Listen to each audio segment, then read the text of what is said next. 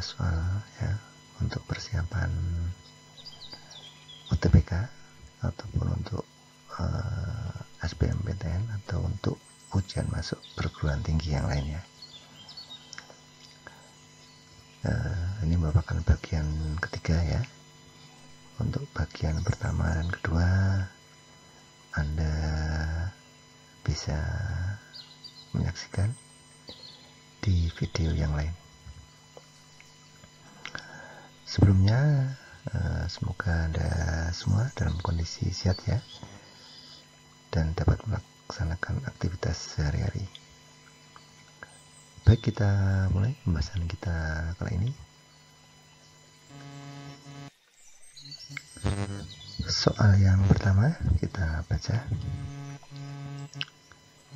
Pertumbuhan dan perkembangan awal zigot tumbuhan lumut akan membentuk uh, saya ulangi pertumbuhan dan perkembangan awal zigot tumbuh lemut akan membentuk A. Protalium B. Protonema C. Sporogonium D. Tumbuh lemut E. Archegonium untuk bisa menjawab soal ini kita harus uh, mengetahui ya harus tahu metagenesis tumbuhan lumut ini harus uh, hafal urutannya ya uh, sehingga bisa menjawab soal ini. Mari kita lihat uh, metagenesis tumbuhan lumut. Seperti ini uh, daurnya ya metagenesisnya. Uh, kita lihat ya jadi spora tumbuhan lumut itu nanti akan tumbuh menjadi protonema. Kemudian protonema ini akan tumbuh menjadi tumbuhan lumut jadi protonema ini uh, kecambahnya tumbuhan lumut ya ini jadi spora itu berkecambah akan menjadi yang namanya protonema. Nah protonema ini nanti akan tumbuh menjadi tumbuhan lumut yang dewasa. Tumbuhan lumut yang dewasa itu nanti akan menghasilkan alat kelamin betina yang namanya arseconium dan alat kelamin jantan yang namanya antheridium Alat kelamin betina atau arsiginium nanti akan menghasilkan sel kelamin betina yang namanya sel telur. Sedangkan alat kelamin jantan atau antridium nanti akan menghasilkan sel kelamin jantan yang namanya sperma. Selanjutnya sperma dan sel telur nanti akan bertemu, terjadi pembuahan dan menghasilkan zigot. Nah, zigot ini nanti satu sel ya satu sel. Ini diploid kemudian nanti akan mengalami pembelahan setelah mitosis. Berkembang berkembang. Akhirnya nanti akan menjadi sporogonium atau kotak spora. Nah kotak spora ini isinya spora ya. Nanti kalau uh, kotak spora ini pecah akan keluar menghasilkan spora yang di atas ini. Nah di sini kita lihat bahwa zigot pada tumbuhan lumut itu berkembang menjadi yang namanya sporogonium atau kotak spora. Sehingga jawaban soal nomor satu tadi, ya, soal satu ini ya, itu adalah uh, sporogonium. Jadi zigot tumbuhan lumut akan berkembang menjadi kotak spora atau sporogonium. Demikian uh, soal nomor satu ya. Kita lanjutkan soal nomor dua.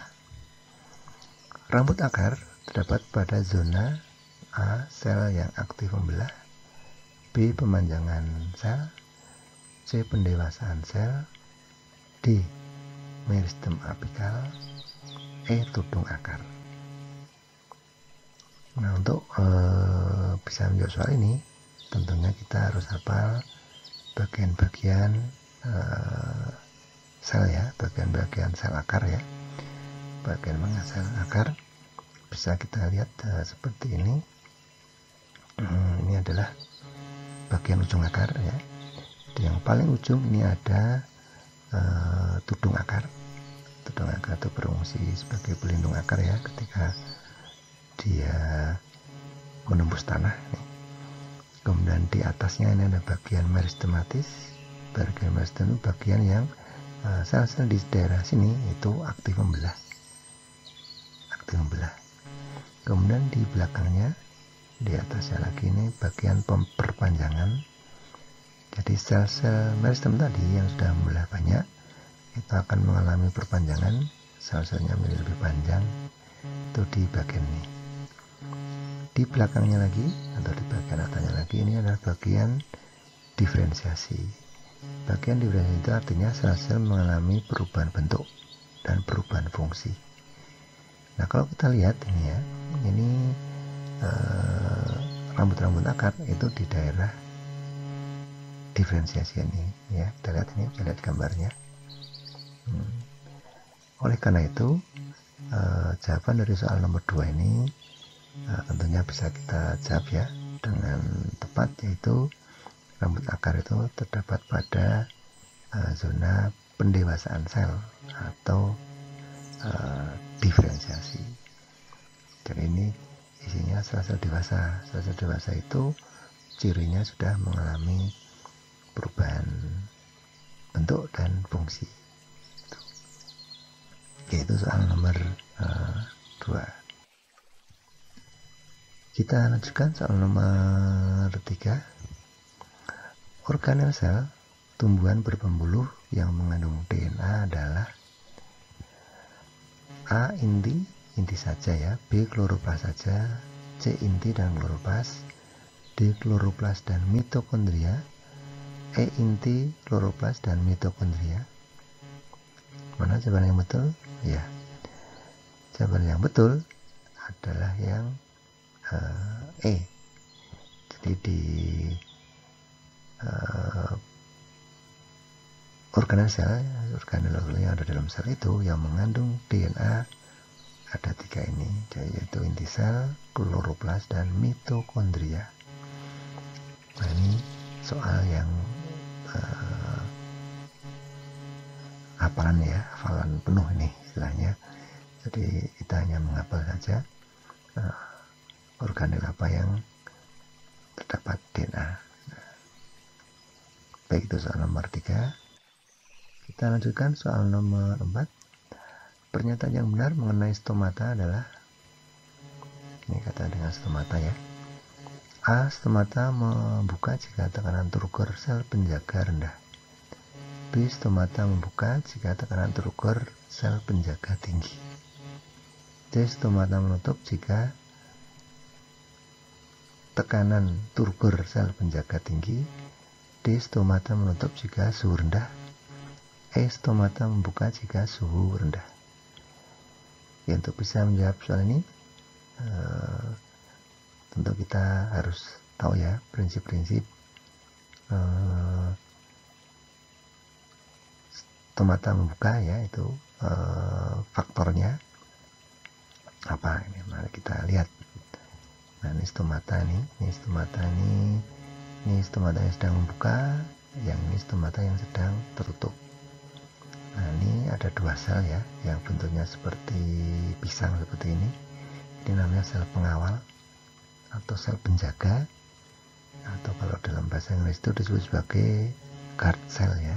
Ya sama ini artinya sel penjaga atau sel pengawal. Ini terbuka yang ini tertutup nah stomata itu membuka itu jika tekanan turgor sel penjaga itu tinggi. Jadi kalau sel tekanan turgor di sel penjaga ini tinggi maka dia akan membuka. Kalau tekanan turgornya itu rendah maka dia akan menutup. Kenapa itu tekanan turgor Tekanan turgor uh, adalah tekanan yang ditimbulkan oleh air yang mendorong membran sel. Jadi kalau sel penjaga ini terisi banyak air, maka akan menimbulkan yang namanya tekanan turgor tadi. Jadi airnya nanti akan mendorong membran sel ya. Jadi ini kan ada membran selnya. Jadi akan terdorong sehingga itulah menjadi tekanan itu. Dan sehingga uh, selnya itu akan uh, bentuknya akan seperti ini sehingga stomata akan terbuka. Kalau uh, air sel menjaga itu sedikit maka tekanannya rendah sehingga bentuk selnya akan seperti ini. Nah ini kondisi stomata tertutup. Seperti itu. Jadi uh, stomata membuka dan menutup itu tergantung dari tinggi rendahnya tekanan turgor pada sel penjaga baik kita cocokkan dengan pilihan jawaban. Kalau dari penjelasan tadi tentu sudah bisa kita jawab ya eh, bahwa jawabannya itu adalah B. Jadi stomata membuka jika tekanan turgor sel penjaga itu tinggi. Seperti ini. Seperti ini ya ini jadi uh, stomata membuka jika tekanan turgor sel penjaga tinggi. Oke itulah uh, jawaban soal nomor 4 kita lanjutkan soal nomor 5 Jaringan sel mati memiliki penebalan dinding sekunder dari lilin adalah saya ulangi jaringan sel yang memiliki penebalan dinding sekunder dari zat lignin adalah A. Kolenkin B. Parenkin C. Klorenkin D. Airenkin E. Sklerenkin Nah, baik ya, pertanyaan ini itu mengacu pada jaringan penguat ya. Jaringan penguat ini jadi penguat pada sel tumbuhan. Itu tersusun dari beberapa zat ya tergantung dari jenisnya. Nah jaringan penguat itu ada dua macam yaitu kolenkin hmm, kolenkin ini jaringan penguat pada tumbuhan yang masih aktif mengadakan pembelahan. Kolenkim ini cirinya. Jadi biasanya kolenkim itu terdapat pada organ-organ tumbuhan yang masih muda yang masih aktif membelah nah dindingnya itu mengandung selulose, pektin atau hemiselulose ya atau kombinasinya. Yang kedua eh, jaringan sklerenkim nah ini terdiri dari sel-sel yang sudah mati. Tentunya ini sudah tidak membelah ya. Hmm. ke dindingnya sangat kuat ya tebal karena mengandung zat lignin. Dari lignin itu komponen utama kayu sehingga ini keras ya zat lignin itu. Oke. Dari penjelasan tadi maka jawaban soal nomor 5 ini dapat kita tentukan adalah yang uh, E yaitu sklerankin hmm, jadi uh, soalnya yang pas adalah yang E ini. Demikian. Kita lanjutkan so soal nomor 6 ya. Uh, Giberlin Giberlin memacu perkecambahan embrio melalui reaksi enzimatis pada endosperm dengan cara meningkatkan A. Pembentukan lipid dari asam lemak B. Pembentukan sukrosa dari glukosa C. Pemecahan amilum menjadi glukosa D. Pemecahan sukrosa menjadi fruktosa E. Pemecahan protein menjadi asam amino Baik, mana jawaban yang benar? Ya, untuk bisa menjawab pertanyaan ini tentu kita harus memahami proses perkembangan ya bersama embrio pada tumbuhan uh, khususnya apa yang terjadi pada biji ya, pada biji. Karena embrio itu uh, perkecaman itu terjadi pada biji. Yang namanya biji tumbuhan itu ada dua bagian ya yaitu embrio ini kelak menjadi tumbuhan yang baru dan endosperm atau keping biji. Karena keping biji endosperm itu mengandung cadangan makanan yang digunakan embrio nanti untuk tumbuh kita tahu untuk namanya pertumbuhan ya pembelahan sel itu memerlukan energi Nah, energinya itu didapat dari endosperm ini, dari proses enzimatis. Nah, apa yang terjadi sehingga muncul energi untuk perkecambahan? Uh, untuk perkecambahan itu perlu energi ya, sehingga sumber energi utama itu adalah karbohidrat. Ya, kita tahu sumber utama energi itu karbohidrat. Nah, itu terdapat pada endosperm ini, karbohidrat itu. Nah, amilum ini atau karbohidrat itu dalam proses enzimatis itu akan diubah menjadi glukosa. Nah, glukosa inilah yang akan dioksidasi menjadi energi. Ya, glukosa itu ya. E, sumber utama energi pada manusia, hewan, tumbuhan itu asalnya dari glukosa. Jadi glukosa itu yang paling mudah dipecah, mudah dioksidasi menjadi e, energi. Itu.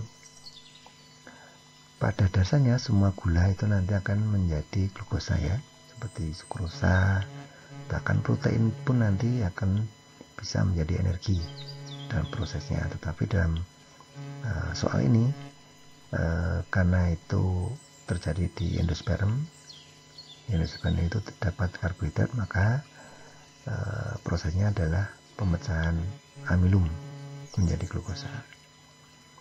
Sehingga bisa kita tentukan jawaban yang tepat adalah yang C yaitu terjadi pemecahan amilum menjadi glukosa. Nah sekali lagi glukosa inilah yang nanti akan dioksidasi menjadi energi yang akan digunakan embrio untuk berkecambah. Baik itulah soal nomor 6 lanjut soal nomor 7 Jaringan dasar tumbuhan yang dapat berfungsi sebagai penyimpanan cadangan makanan, tempat terjadinya fotosintesis, serta sebagai jaringan pengisi berkas pembuluh adalah A. Parenkim, B. Kolenkim, C. Sklerenkim, D. Kolenkim dan parenkim, E. Sklerenkim dan parenkim. Nah, ini pertanyaannya mengacu pada jaringan dasar tumbuhan ya jaringan tumbuhan itu ada beberapa macam ya. E, ada jaringan meristem. Jaringan meristem itu jaringan yang masih muda yang aktif membelah. Ini e, memang jaringan yang terkhusus untuk pertumbuhan ya. Aktif membelah ini. Tidak ada fungsi yang lain selain untuk memperbanyak sel sehingga tumbuh tumbuhan tersebut yang kedua jaringan dewasa nah ini jaringan dewasa ada beberapa jenis. Jaringan dewasa ini jaringan yang uh, sudah tidak aktif uh, membelah. Tidak sangat aktif membelah ya. Masih bisa membelah tapi tidak sangat aktif membelah. Ini ada beberapa. Yang pertama jaringan epidermis. Ini jaringan kulit. Ya, kemudian jaringan dasar parenkim. Jaringan dasar. Kenapa itu jaringan dasar? Karena Eh, sel-sel parenkim itu terdapat di hampir seluruh bagian tubuh tumbuhan. Dari daun sampai akar itu semua ada jaringan dasar atau parenkim ini. Meskipun nanti namanya berbeda-beda ya berbeda-beda penyebutannya. Kemudian yang ke tiga adalah jaringan penguat. Nah, tadi sudah kita sebut ini ada uh, kolenkim dan sklerenkim ya jaringan penguat itu. Yang terakhir adalah jaringan pengangkut. Yang berfungsi untuk mengangkut uh, zat-zat ya air dan zat-zat mineral atau zat-zat hasil fotosintesis ini ada silim dan fluim seperti itu jaringan pada tumbuhan itu. Nah dari ini bisa kita tentukan uh, bahwa Jawaban yang betul adalah yang parenkim. Jadi jaringan dasar itu parenkim ini. Kalau yang kolenkim, jaringan ini jaringan penguat. Ini fungsinya untuk menguatkan bagian tubuh. Ya, tidak berfungsi untuk penyimpan cadangan dan sebagainya. Kemudian ini ya, kolenkim adanya penguat juga, jaringan penguatnya sehingga Nah, tentu jawaban yang tepat adalah yang A. Itu sebagai jaringan dasar. Kita lanjutkan soal nomor 8. Seleksi unsur hara yang diserap akar tumbuhan dilakukan melalui pita kaspari yang terdapat pada jaringan. Nah ini pertanyaannya ini hanya menanyakan letak pita kaspari ya. Ini lebih ke anatomi tumbuhan ini. Hmm. Pilihannya ada A. Cortex, B. Perisikal, C. Pembuluh, E. Epidermis, E. Endodermis. Mana jawaban yang betul? Tentu untuk bisa menjawab ini kita harus ingat dulu struktur anatomi akar ya, struktur anatomi akar. Jadi harus tahu dulu uh, struktur akarnya seperti apa. Nah, bisa kita lihat seperti ini. Uh, potongan melintang dari akar itu seperti ini.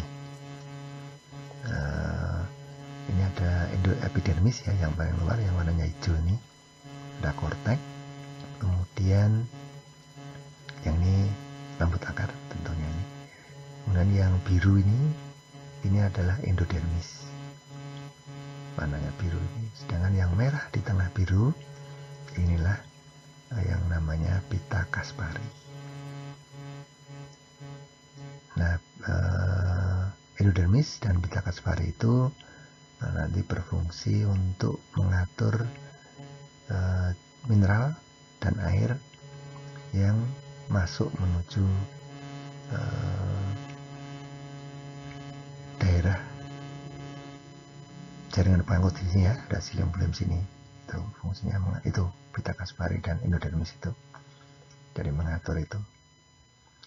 Sehingga dari penjelasan ini tentu kita sudah bisa jawab nah, di mana letak pita kaspari itu ya. Di mana letaknya? Yaitu di endodermis.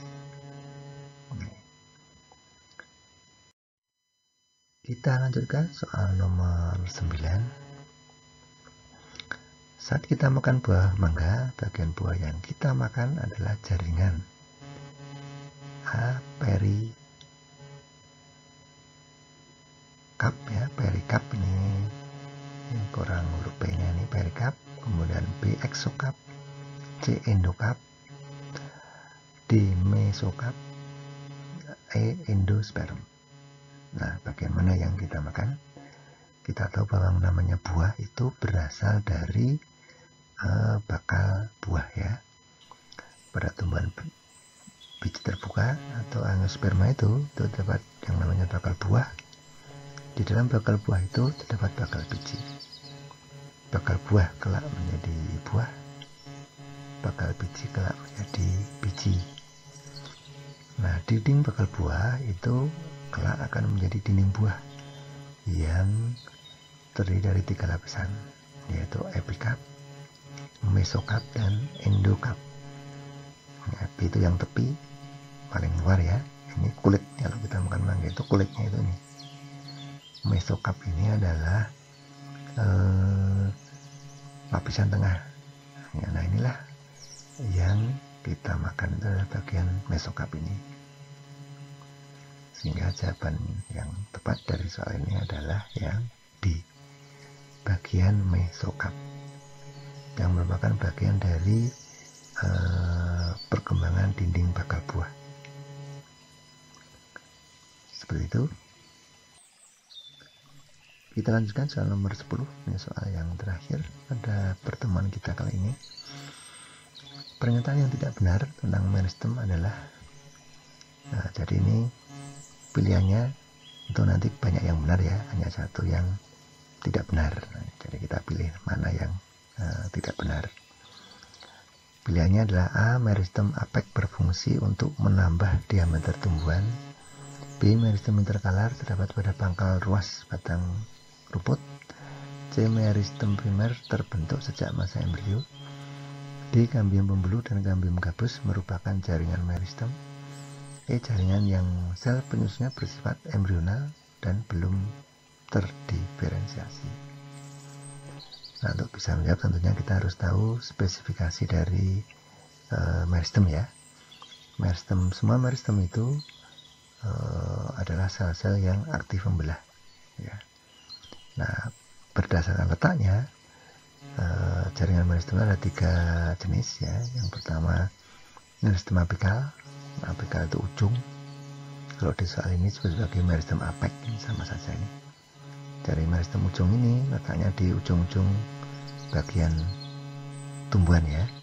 Ini fungsinya meristem apel ini peranannya untuk menambah panjang dari tumbuhan tersebut jadi lebih tinggi. Kalau di akar ya e, menjadi lebih panjang ya. Kalau di batang ya nanti akan tambah panjang batangnya. Itu letaknya di ujung-ujung bagian tumbuhan. Ini namanya meristem apikal meristem ujung. Yang kedua meristem lateral ini letaknya di batang atau ini meristem lateral itu samping. Jadi meristem lateral ini berfungsi untuk pertumbuhan ke arah samping. Jadi nanti diameter tumbuhan itu akan lebih besar lebih panjang ya sehingga tumbuhan itu makin uh, besar mengarah ke samping pertumbuhannya ini namanya meristem lateral meristem lateral itu tepatnya pada kambium dan kambium gabus kambium dan kambium gabus ini uh, kalau di soal ini sebagai kambium pembuluh ya itu sama saja karena memang letaknya kambium itu di antara jaringan pembuluh silim dan flame. Kemudian yang ketiga, uh, meristem interkalar. Nah, interkalar itu terdapat pada tumbuhan-tumbuhan yang beruas ya, misalnya bambu atau rerumputan itu ya, atau tebu itu uh, di ruas-ruasnya itu terdapat meristem interkalar. Oke, baik. Dari penjelasan tadi kita tentu sudah dapat menentukan ya mana jawaban yang benar atau e, pernyataan yang tidak tepat yang kaitannya dengan meristem. Ya, jawaban yang tidak tepat adalah yang A.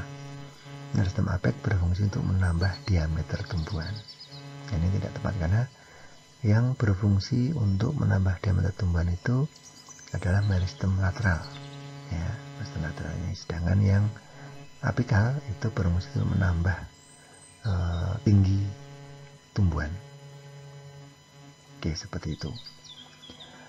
Baik, uh, pemirsa, demikian tadi pembahasan kita kali ini ya. Kita akan masih akan bertemu untuk pembahasan soal-soal yang lain uh, dan juga untuk soal-soal yang berkaitan dengan uh, kegiatan atau persiapan yang lain juga. Terima kasih atas perhatiannya. Eh, semoga ini bermanfaat ya bagi Anda semua. Tidak lupa saya ucapkan terima kasih juga bagi Anda yang sudah subscribe ya. Bagi yang belum, silahkan subscribe untuk bisa menyaksikan video-video yang lain. Terima kasih. Uh, saya akhiri dan saya doakan semoga Anda semua dalam kondisi sehat selalu. Assalamualaikum warahmatullahi wabarakatuh.